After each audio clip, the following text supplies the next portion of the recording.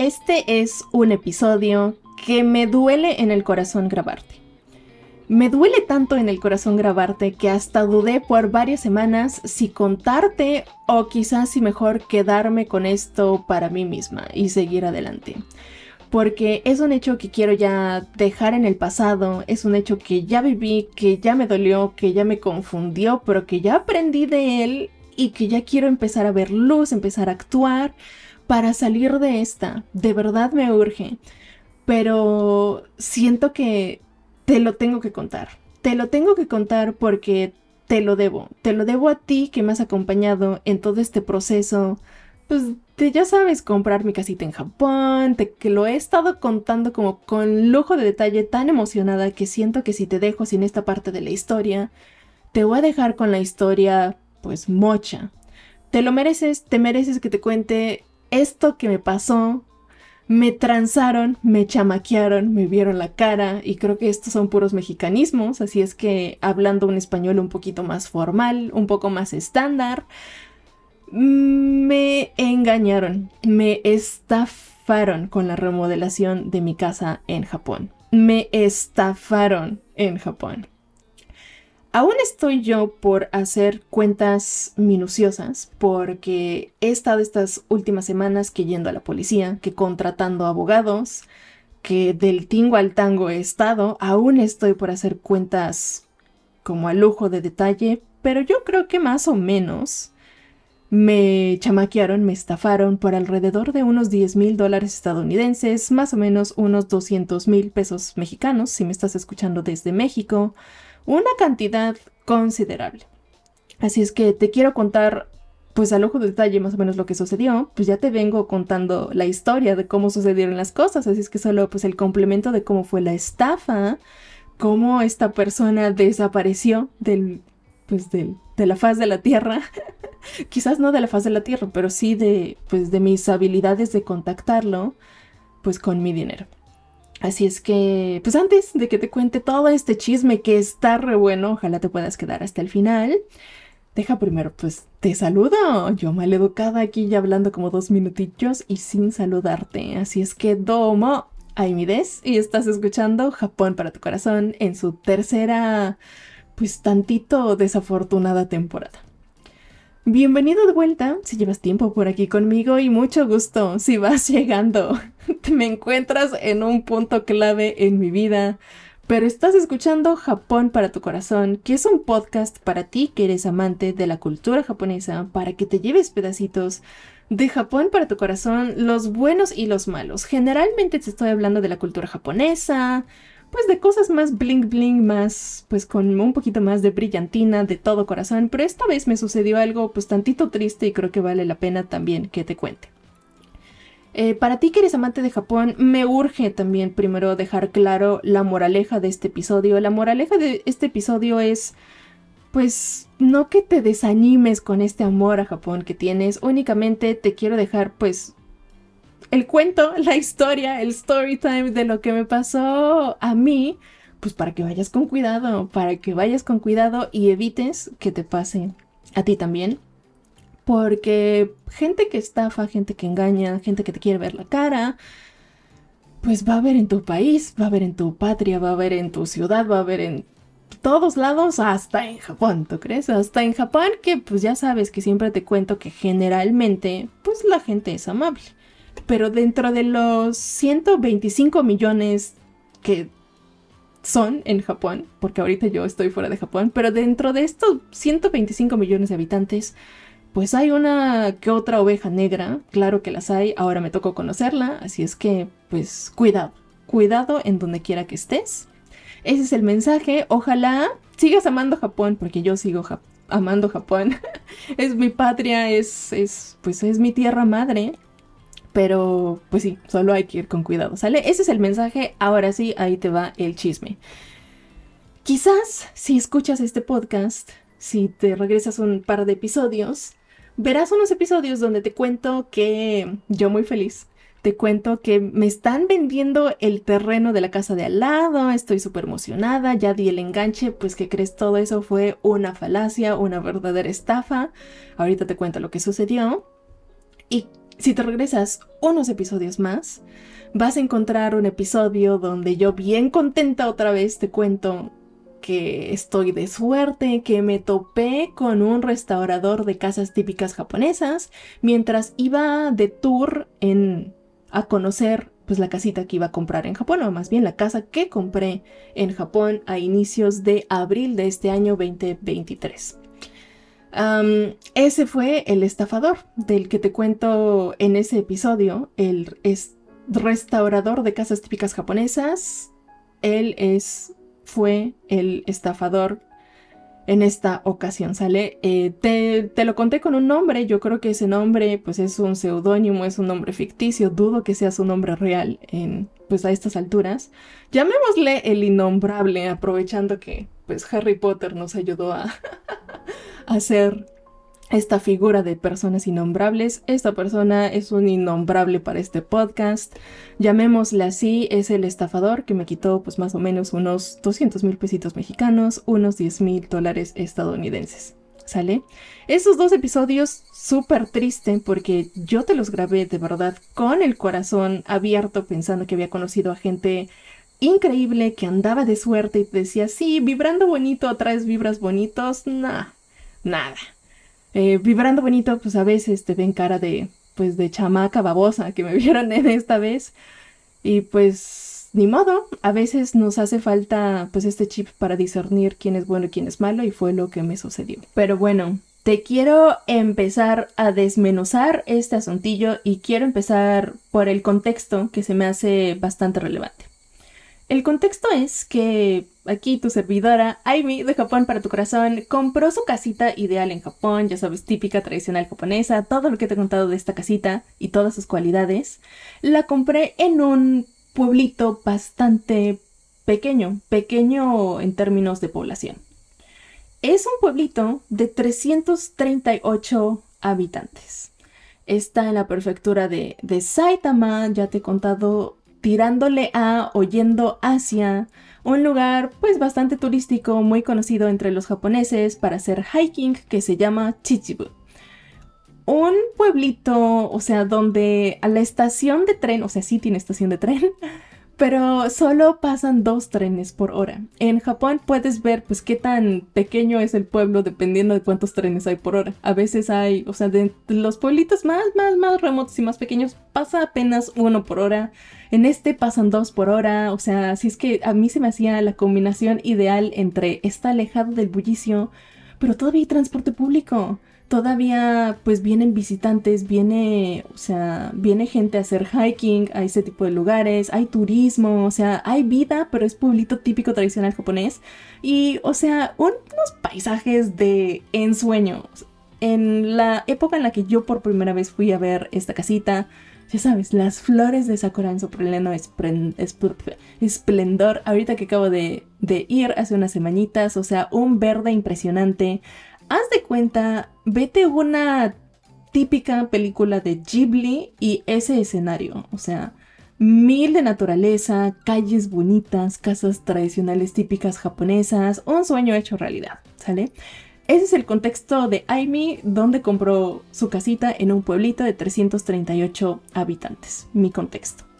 Ahora, en este pueblito de 338 habitantes, por supuesto que la gente pues se conoce.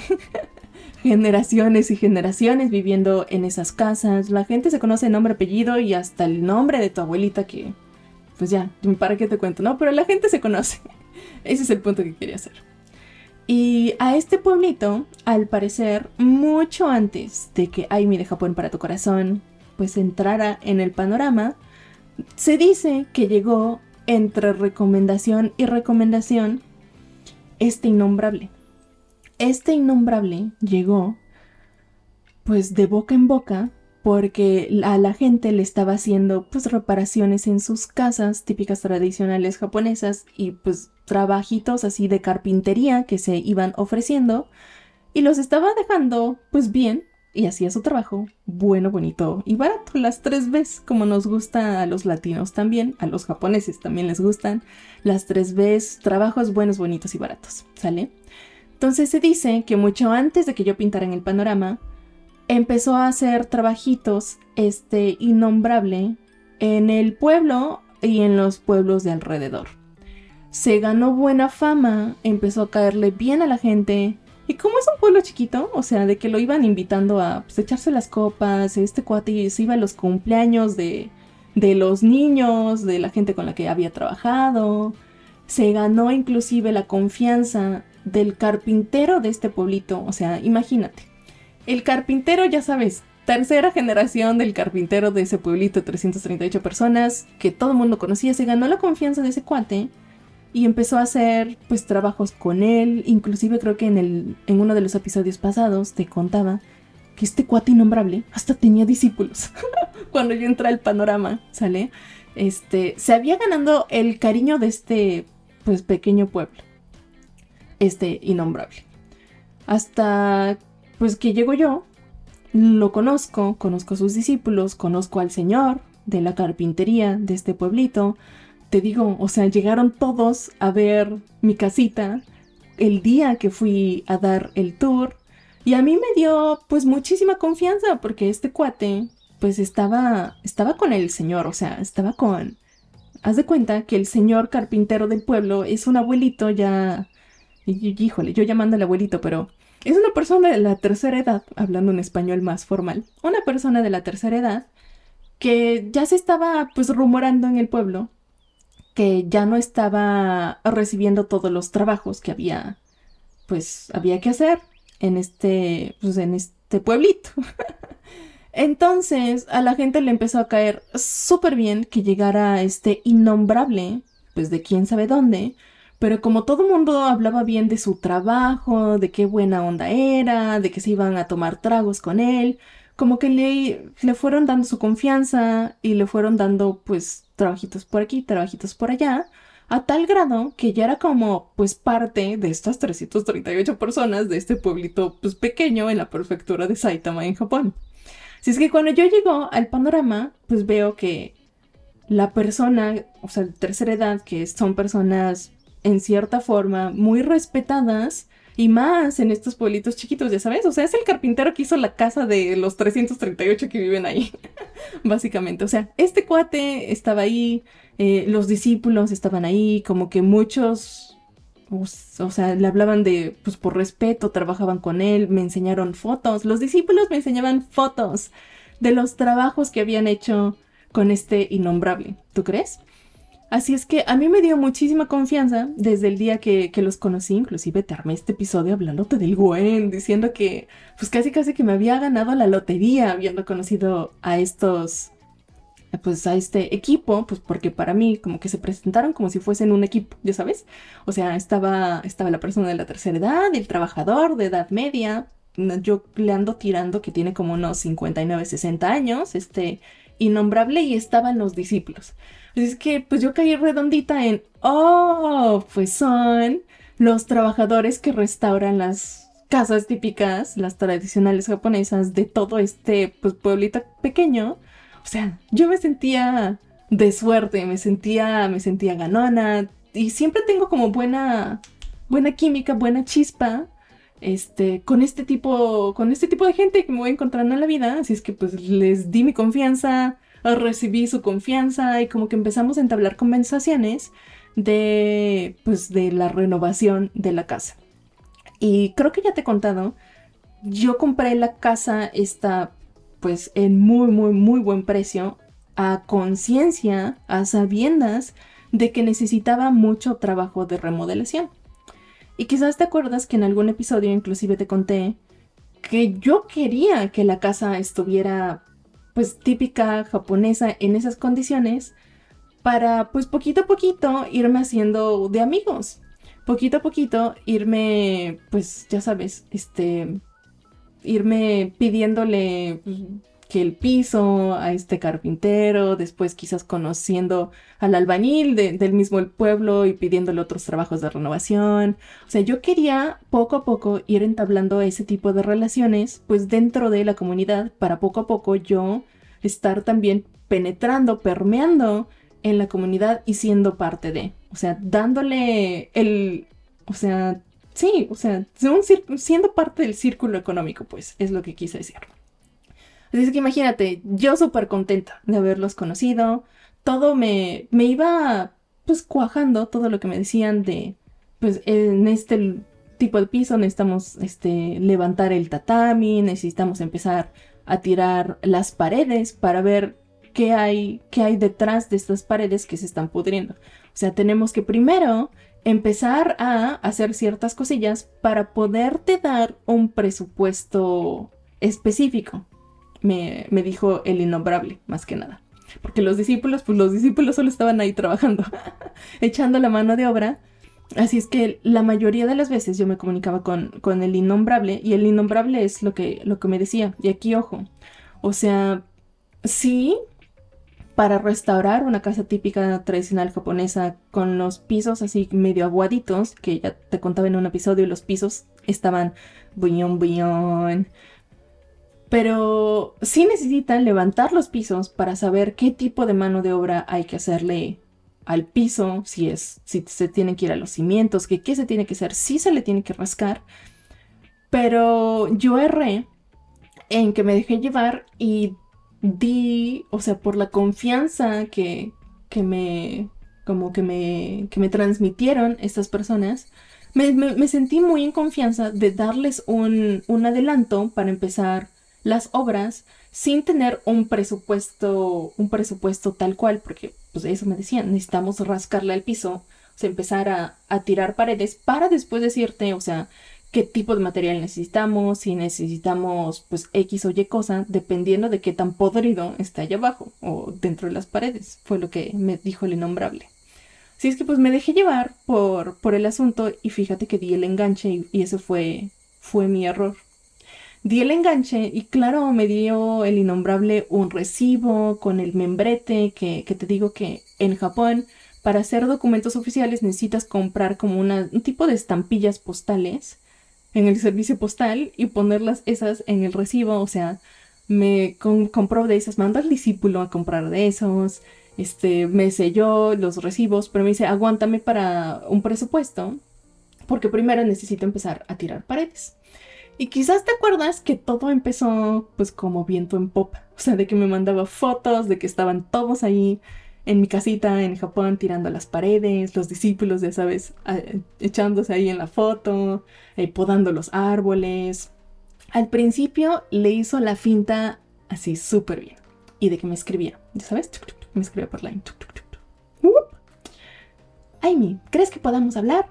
Y yo le contestaba, sí, claro, y le marcaba, ¿no? Y en, el teléfono, pues me enseñaba así, ya sabes, videoconferencia. Este, haz de cuenta como en WhatsApp, en Japón utilizamos esto que se llama Line. Y en Line me marcaba por videoconferencia, me enseñaba la casita, me dice, mira, esta pared ya le estamos empezando a tirar. Y al principio, o sea, este cuate, te digo, o sea, cuate con maña, con callo, pues ya con experiencia haciendo esto seguramente, que así como se ganó la confianza de estas 338 personas del pueblo, pues se ganó mi confianza luego, luego, porque al principio hizo la finta de que estaba empezando a hacer las cosas como me las había contado. Pero lo que sucedió fue que después de que, después de un mes, el primer mes donde estuvo, pues yo creo que fue uno o dos días, ¿eh? apenas que estuvo pues tirando, tirando tantito la pared y este, quitando el piso, fue que de repente eh, me, me, dejó de mandar tantos, tantas fotos, tanta, tanta comunicación. Y me empezó a decir, es que Aimi, ah, pues era, era inicios de esta época que en Japón conocemos como Tsuyu. Me empezó a decir, es que señorita Aimi, ahorita está lloviendo y está un poquito complicado que, que sigamos con la obra, pues por el, tema de las lluvias, me decía. Y pues yo pues creyéndole, ¿no? sí, es que es temporada de lluvia en Japón, quizás ya te he contado, hay una temporada de lluvias que le llamamos Otsuyu, también le llamamos Uki, por esas dos palabras es conocido. Y o sea, llueve, llueve de día y de noche. Y no es como que llueva tantito y se vaya la lluvia, sino que llueve a lo largo del día y cuando hay lluvias, o sea, no es un día, no son dos, o sea, llueve la semana completa. Así es que le creí dije, pues sí, o sea, temporada de lluvias. Le dije, no te preocupes, señor innombrable, tú descánsale, eh, haz tus otras obras, porque para esto mi casa sí necesitaba, o fue más bien, fue lo que él me contó, sí necesitaba también mano de obra en el techo. Y me dice, no alcanzamos a hacer eso antes de las lluvias, así es que nos tenemos que esperar a que paren las lluvias para empezar como a reanudar todo, todo el tema de, pues, de los pisos. Y me decía, y espérame, por favor, a lo de la cotización, ahorita no te preocupes, con el enganche tenemos, espérale y le trabajamos después de las lluvias. Así me dijo. Y pues yo, creyéndole todo el tiempo, hasta que ya como mediados de junio que empezaron a parar las lluvias y le dijo, oye, ¿qué hubo? decía, señor innombrable, ya fue usted a mi casita. Y me decía, no, no, no, a la larga, a la larga, a la larga. Y ya se me empezó a hacer raro hasta que un día, ¿qué crees? Desapareció del panorama. Eh, me dejó de contestar llamadas, me dejó de pues, mandar mensajes, obviamente. se me hizo raro, pero dije, pues se enfermó. O sea, ¿qué es lo que piensas? ¿No? Al principio, cuando confías en alguien y de repente desaparece. Pero hasta que dos semanitas después me habla este, esta persona de la tercera edad, el carpintero honorable del pueblo, diciéndome, Amy, no encontramos a este innombrable. Y yo así de, o sea, ya me las venía oliendo y fue como, pues sí, sucedió. este cuate, el innombrable, se esfumó, porque para todo esto Fui yo y fueron otras cuatro o cinco casitas más, según este carpintero honorable de la tercera edad del pueblo. Dicen que prometió trabajos de renovación así en cuatro o cinco casas más, porque, y yo como que no les he contado, ¿eh? A mí me consta de una persona, porque, o sea, todo iba tan bien. Este pueblito, te digo, 338 personas, me presentaron a muchísimas personas, o sea, clientes pasados de este innombrable, el innombrable mismo me los presentó. estos otros clientes me decían, sí, nosotros pues ya somos amigos con este innombrable, nos vamos a beber juntos. Si es que con esas personas sí estaba en comunicación y confirmé que ellos también los dejó pues con el trabajo pues con promesas nada más y sin el trabajo hecho. el carpintero del pueblo me dice fueron unas 4 o 5 personas más, me consta de una, pero pues más o menos en resumen. Así la situación. El cuate desapareció de repente y además del primer enganche que le había dado, pues con toda la confianza nada más, este también tenía con él pues la plática quizás, te acuerdes que te conté también que estaba ya, que ya había dado el enganche para comprar el terreno de al lado. Porque pues es un... Bueno, luego te enseño bien el mapa. Bueno, quizás te lo pongo por aquí. Pero mi casita está en un terreno que está rodeada de, pues, de terrenos de otras personas. Es obvio, ¿no? Pero haz de cuenta que yo tenía muchas ganas de comprar el terrenito de al lado que está vacío. Porque mi idea es, pues, estar en mi casita en Japón con mis perritos, ya sabes que tengo dos gatos también, pues con más holgura de espacio y evitando molestar a los vecinos.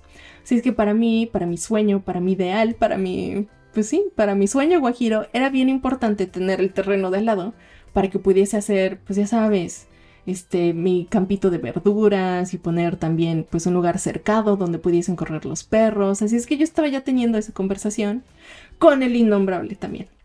Y ahí te va el, choro que me dio el innombrable para sacarme el enganche para, pues, disque el terreno de al lado, que ahorita ya sé que fue toda una falacia.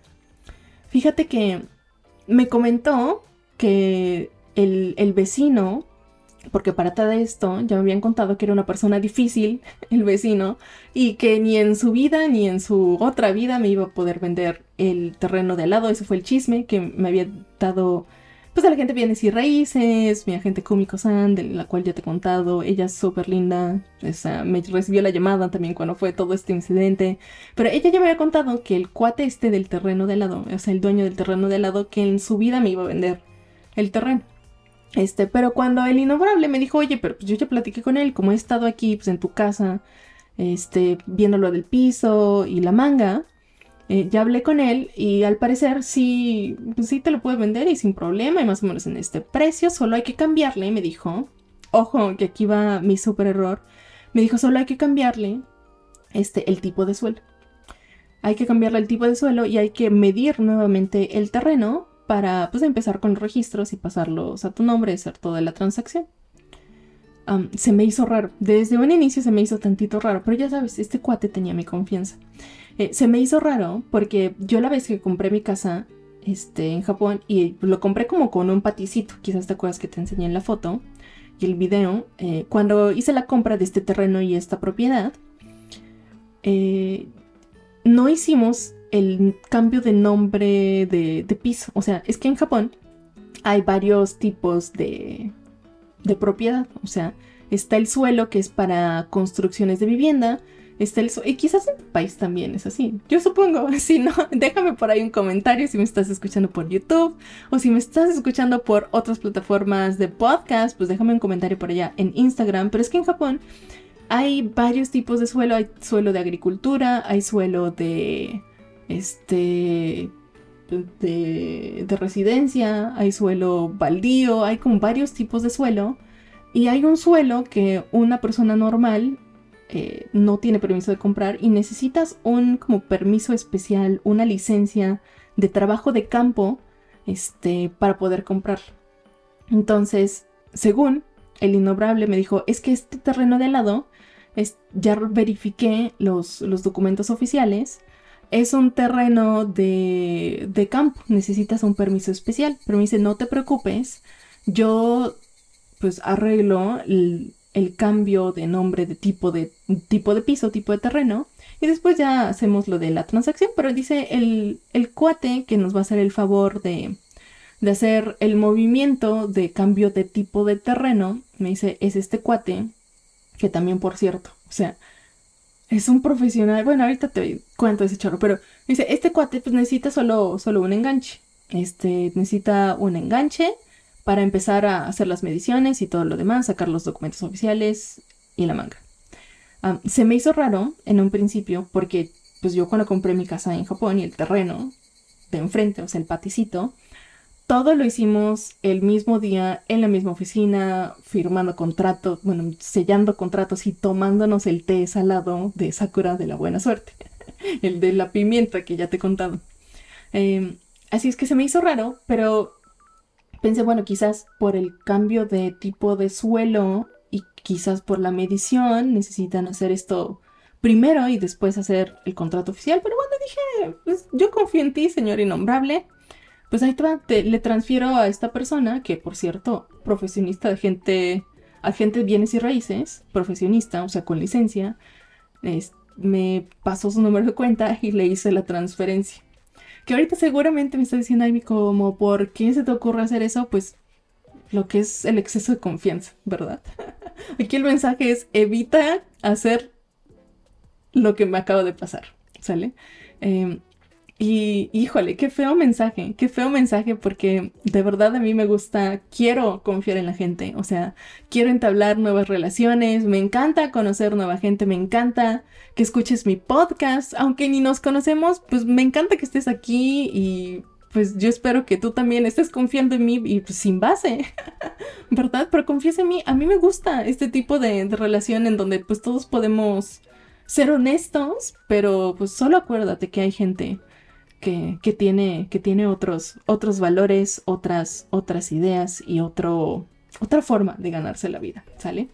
Eh, el chiste es que pues le hago la transferencia a este cuate, eh, que por cierto, o sea, profesional de bienes y raíces, pero corrupto, porque pues le pasa al innombrable el dinero, él recibe una mordida, le, da el efectivo al, al, innombrable y el innombrable pues escapó con el enganche que le había dado para la construcción y con el enganche que le había dado para la compra del terreno, la transferencia del nombre y la medición y todo el drama este. Así es que, pues total, se llevó pues una muy buena cantidad. Te digo, pues aún estoy por hacer cuentas con el abogado porque estoy intentando como o sea, por ejemplo, con lo del este agente de bienes y raíces que recibió la mordida del innombrable, o sea, estoy intentando que este cuate sí se haga responsable porque él recibió una mordida, ya sabes, o sea, y él lo acepta. es que estoy pues intentando con el abogado, viendo qué hacer. Después te cuento qué es lo que está haciendo en este caso el abogado, por si te pasa, pues ya sabes que hay que contratar a un abogado y más o menos qué hacer. Em, pero ahorita más o menos el recuento de los daños, sin contar los gastos, o sea, de litigio y de embargo y todo esto que estoy invirtiendo con el abogado, la pérdida fue de más o menos unos 200 mil pesos mexicanos, porque yo sé que el 50% de mi público está en México, así es que pues en pesos mexicanos son como unos 200 mil pesitos. Y en dólares pues unos 10 mil y cachito, ¿sale? Esto aproximadamente únicamente del dinero que, que yo di como de enganche para este tema de reconstrucción del piso y todo lo demás. para haber terminado, déjame te cuento, con un... Híjole, eh, me dio mucha tristeza. Porque hace dos semanas, em, después de haber ido primero a la policía a hacer una demanda, levantar una demanda, fui a ver cómo estaba pues, esta casa de ensueño que te digo que compré en, en abril. La casa deshecha.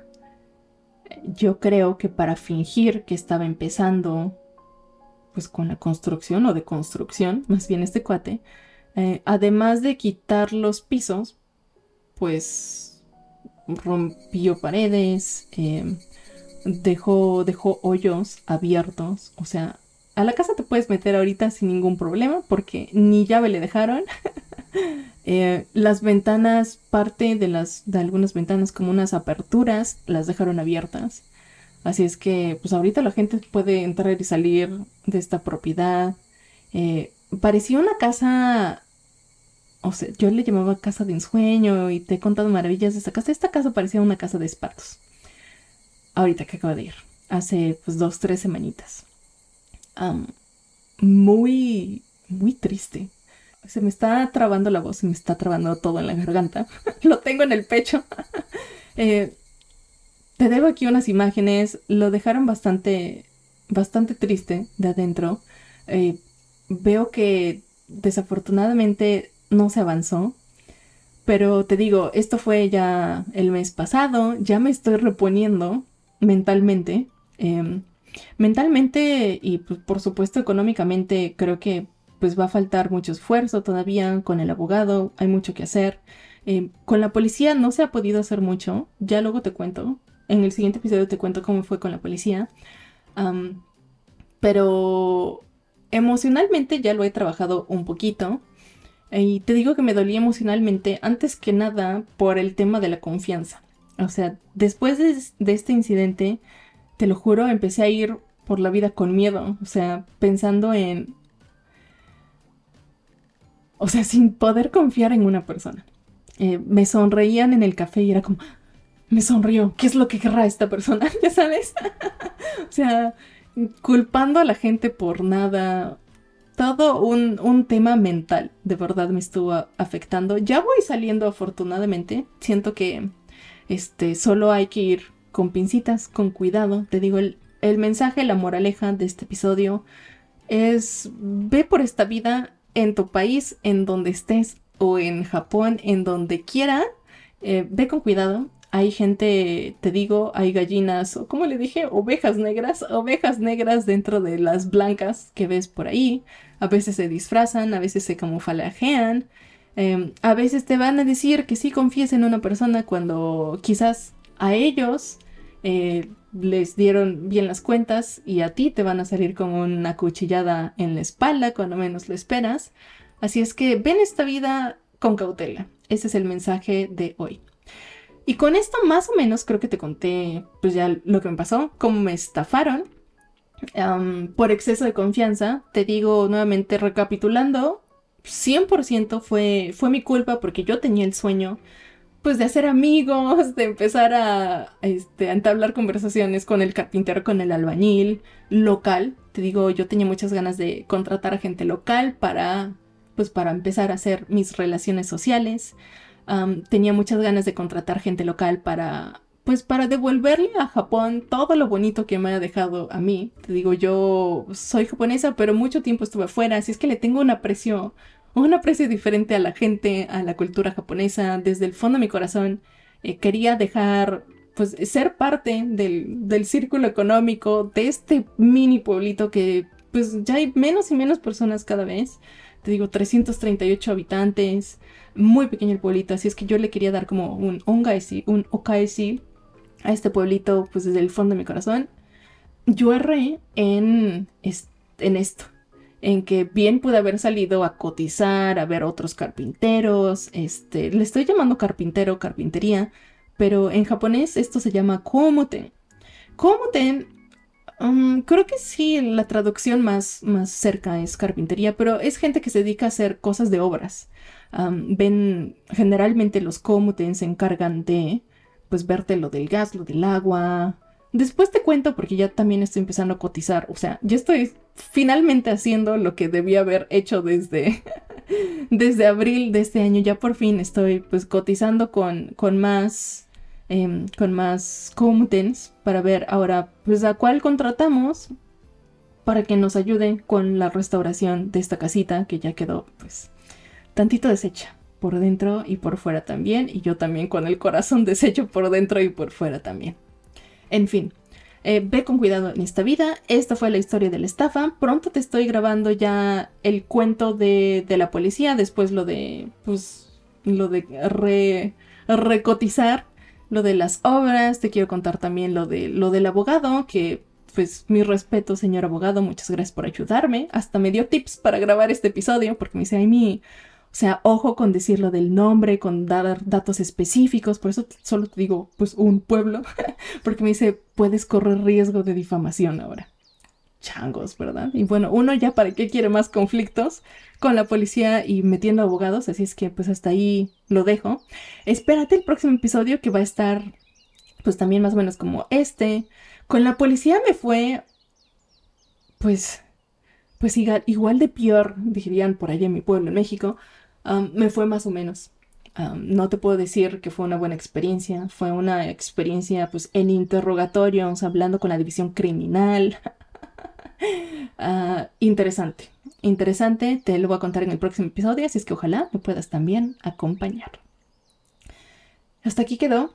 Muchas gracias por escucharme hasta aquí. Esto es Japón para tu corazón un podcast para ti que eres amante de la cultura japonesa de Japón, para que te lleves pedacitos de Japón para tu corazón, las caras buenas y las caras pues no tan buenas también como en esta ocasión.